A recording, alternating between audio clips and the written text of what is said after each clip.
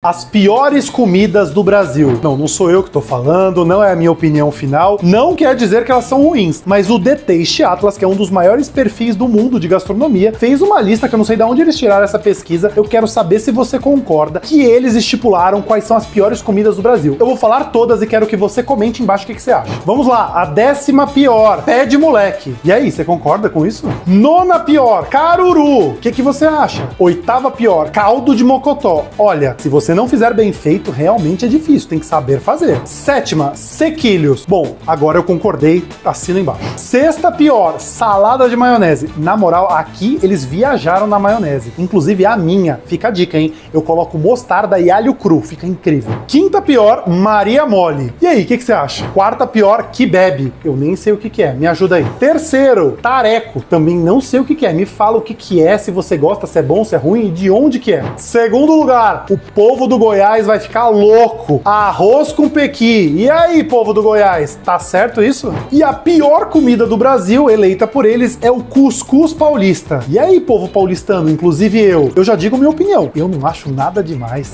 Bom, agora a polêmica é com vocês. Comentem aí.